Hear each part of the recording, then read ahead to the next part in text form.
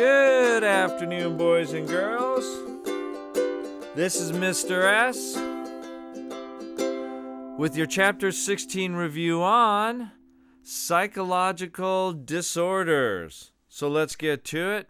Who else better than somebody who suffers from a bit of disorders of his own to talk about this? The first thing is right out the gate.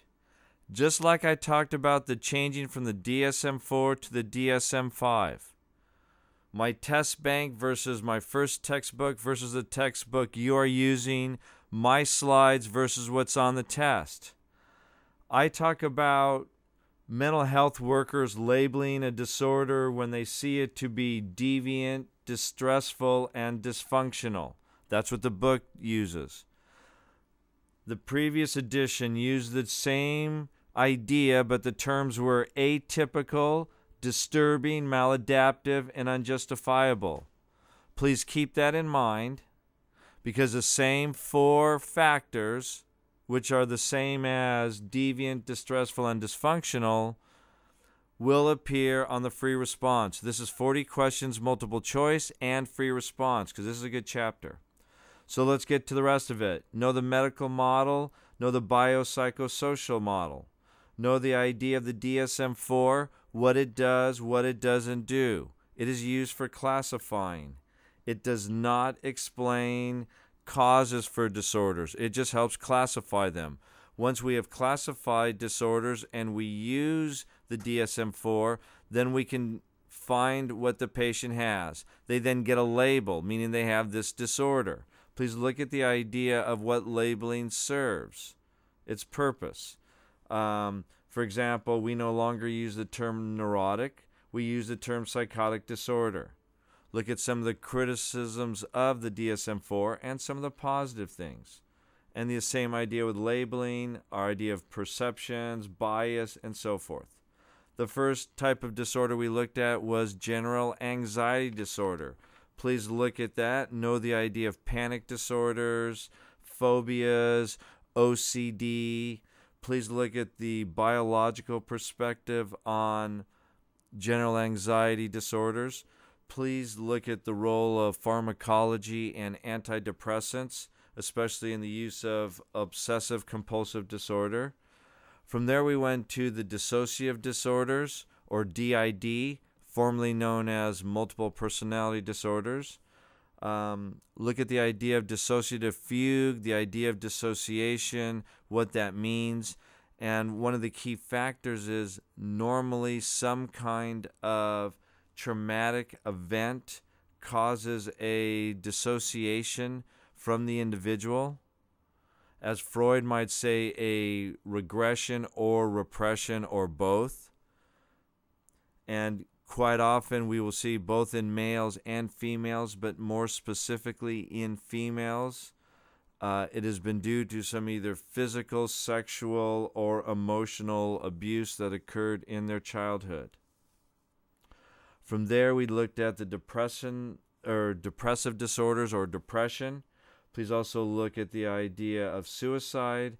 Please look at the idea of with depression and suicide. One of the key factors in suicide is what is known as suicidal talk.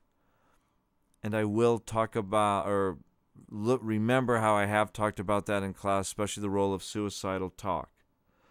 Look at the idea of bipolar disorder in this grouping, the role of the biological perspective and linkage analysis Please look at the role of pharmacology again and norepinephrine and neurotransmitters, especially in the role of bipolar uh, and depression.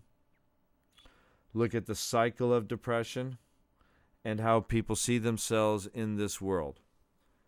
From there, we looked at the role of schizophrenia. Please look at schizophrenia. There are quite a few questions on it. Know the different types. Uh, know the difference from acute versus chronic, know the role of hallucinations in the world of schizophrenics. Please look at what research suggests and some of the ideas, again, of genetic predisposition. Then we'll look at the idea of antisocial or personality disorders. So look at the narcissistic personality disorder, antisocial personality disorder. Please look at groupings from a gender perspective um, and how we tend to see men quite often be much more of the antisocial personality. And then finally, as I said, that should lead us to free response. When you look at free response, look at the idea that I'm going to tell you again atypical, disturbing, maladaptive, and unjustifiable.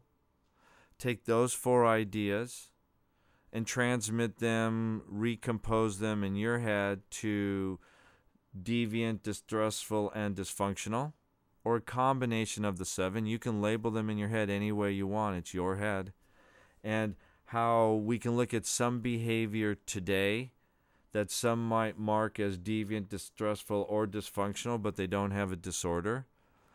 You could look at the example I gave, and if you actually look at something that just happened in the news, there's actually been a few things, and especially one current event topic that many of you are very passionate about. If you look at the individual involved with that, his behavior could have been looked at as deviant, dis- distressful, or dysfunctional, but definitely doesn't have a disorder. There could be some physiological, biological, momentary lapse situations, but does not mean it's something permanent. And then look at the role of labels and what that may have already been done in the media, especially in the world of public opinion. So you should have fun with this test. It's a fun chapter. Please read it. If you have any questions, ask me in class, and we'll go from there.